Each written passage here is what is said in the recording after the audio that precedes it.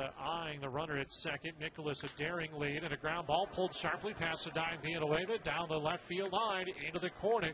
Nicholas will score. Being waved around third base is at Lucas. Valenka will not make a relay throw to the plate. It's a two run double for Michael Choice.